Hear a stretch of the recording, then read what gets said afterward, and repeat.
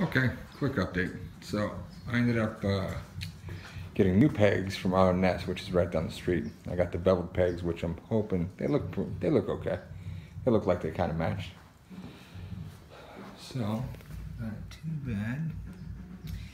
And I called hell of places about the shifter arm, but the one place I did call, which was uh, I had to start a forum, or I joined a forum.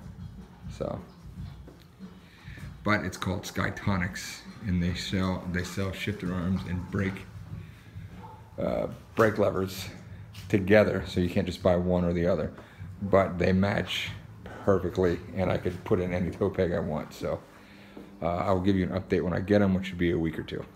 But right now, this is the bike as is, and then uh, it's pretty much uh, pretty much it. Those gas tank bolts make it look fucking clean. Looks good.